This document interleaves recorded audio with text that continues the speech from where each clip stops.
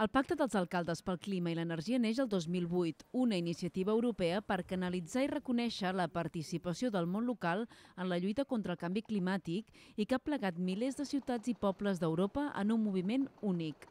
La Diputació de Barcelona en va ser coordinadora i aleshores l'objectiu era el de reduir en un 20% les emissions de CO2.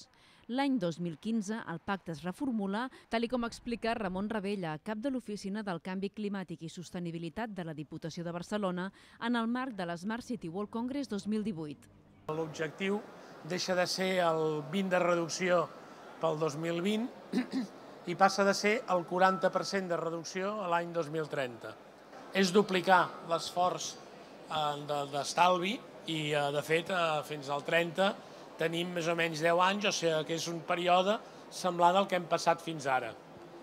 El Pacte dels Alcaldes és un instrument per l'equitat, la qualitat ambiental, econòmica i social i té també com a objectiu principal l'adaptació als impactes del canvi climàtic i l'accés a una energia segura, sostenible i assequible. Així, el pacte incorpora aquesta vessant social. A més, té com a fita principal crear una societat resilient davant els riscos que està generant el canvi climàtic. D'aquesta manera, si bé va néixer amb un caràcter merament ambiental o econòmic, ha anat incorporant amb el pas del temps els conceptes d'equitat social i territorial. Com s'ha implementat el pacte dels alcaldes a casa nostra? Actualment hi ha 246 municipis adherits a Barcelona i més de 650 a Catalunya. S'han executat més de 5.000 accions i s'ha aconseguit reduir un 8% el consum energètic. A més, s'han reduït també les emissions de CO2 en un 18%, el que suposa que no s'han emès prop de 4 milions de tones de CO2. D'aquestes xifres, el cap de l'Oficina del Canvi Climàtic i Sostenibilitat de la Diputació de Barcelona en destaca la diferència de comportament per trams de població. O sigui, les emissions dels municipis petits són més altes que les dels grans.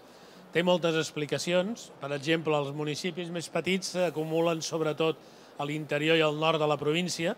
Allà tenen un clima que fa que hi hagi més consum d'electricitat i de combustibles per la calefacció.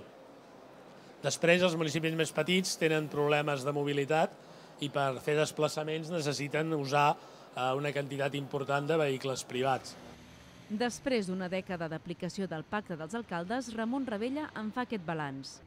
El que hem vist és de que podem fer molts plans, però que si no hi ha una dinamització a nivell local, els plans aquests no acaben d'assolir el resultat.